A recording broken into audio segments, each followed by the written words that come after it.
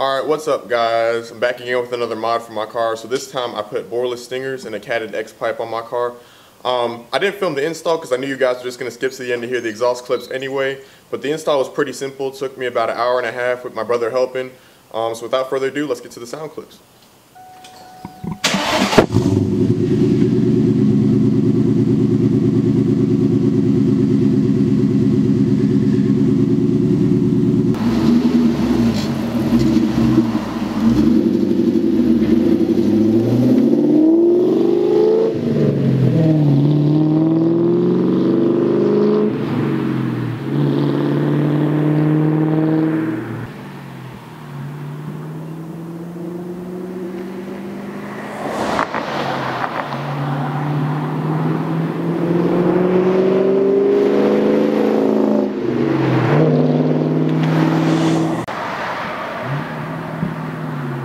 Uhum.